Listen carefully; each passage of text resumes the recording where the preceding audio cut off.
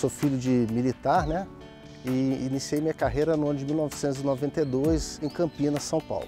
Segui para a Academia Militar das Agulhas Negras, onde fiz o curso de quatro anos.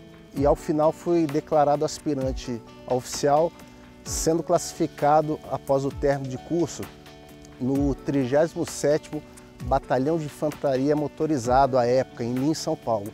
Minha esposa, que eu namorava desde a, o primeiro ano da Academia Militar das Agulhas Negras, a AMAN, no mesmo ano que eu me formei, ela se formou na Unesp e um tempo antes ela havia prestado um concurso público. Nós voltamos da lua de mel no domingo e na segunda-feira ela recebeu um telegrama né, de convocação e ela foi designada para assumir a função em Guaíra. Então, apesar de casado, continuamos ali numa distância ali de 400 quilômetros e um ano depois, após esse período probatório, ela conseguiu uma transferência no trabalho dela para Lins. Pouco tempo em Lins, eu fui transferido para o Rio de Janeiro. Então ainda permaneceu um tempo em Lins, uns quatro meses, até conseguir a sua transferência para o Rio de Janeiro. É um orgulho porque a gente sabe que ele está cumprindo o papel dele, né? É, a missão dele é essa, é, ele se destaca em muitas áreas, né? Então eu acho que a minha missão é estar ali do lado dele, apoiá-lo em todos os sentidos, né? Mesmo que para isso eu tenha que fazer algumas escolhas. Eu fui transferido para o 41º Batalhão de Infantaria Motorizado em Jataí, Goiás. Minha esposa ficou grávida de trigêmeos e logo no começo da gravidez ela teve um problema sério, né? Nessa situação ela seguiu pra, para o interior de São Paulo, né? Em São José do Rio Preto, onde vive nossa família.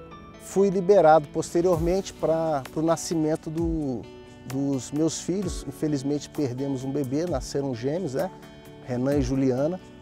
Então foi um momento ali bem intenso, ela trabalhando, eu trabalhando, duas crianças, né? Pais de primeira viagem e o apoio que a gente tinha, vamos dizer, a família toda longe né, do estado de São Paulo, foi com os companheiros de farda, as famílias, as esposas dos militares. Os meus filhos hoje eles têm 11 anos, né? mas já estudaram em quatro escolas diferentes, passando por esses estados.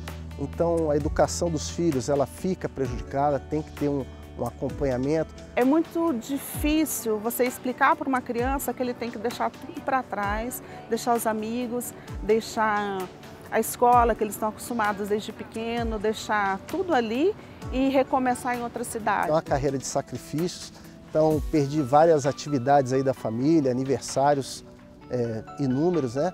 É, meu aniversário de 10 anos de casamento, primeiro dia das crianças na, na escola, o primeiro dia que eles foram na escola também não estava presente.